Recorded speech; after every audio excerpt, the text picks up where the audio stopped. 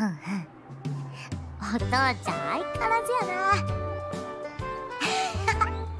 チビたちに突っ込まれとるやんけ。差し入れも喜んでもらえたみたいやな。せやあんたのことも書いてあるで。読んでみ。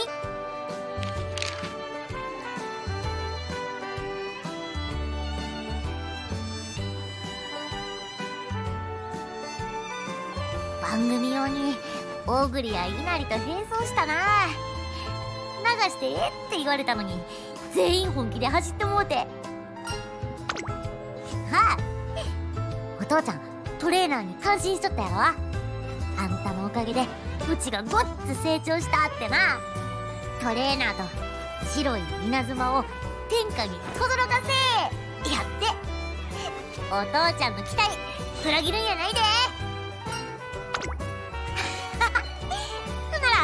返事にそう書いとくわ。せやまたチビたちにお菓子つけて送ったろ。トレーナーも購買に付き合わへん？家族にお菓子選んどってや。手紙でそう伝えるし挨拶代わりにちょうどええやろ。確か。前にこのチョコ菓子が美味しかった言うてたな。同じのの期間限定ピーチ味も出とるんか。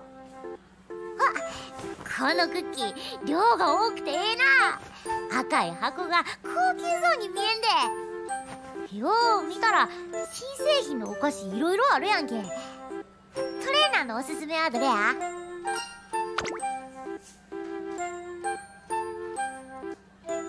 そうか。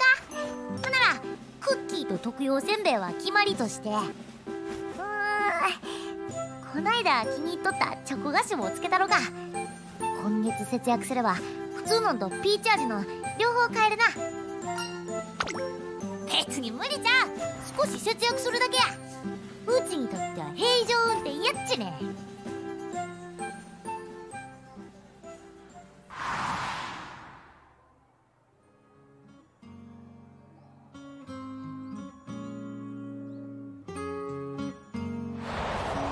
よしこのやつに決めたで。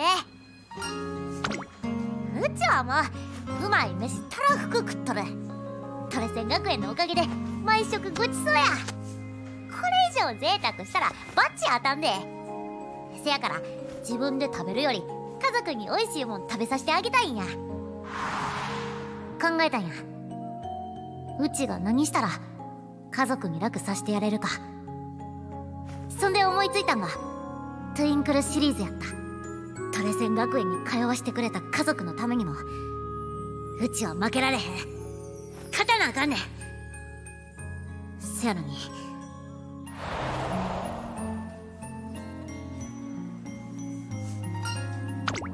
アホか。うちの節約テクはプロ級や。てか急になんやねん。あんたうちのお母ちゃんか。素直か。真顔で言うなはずいわ。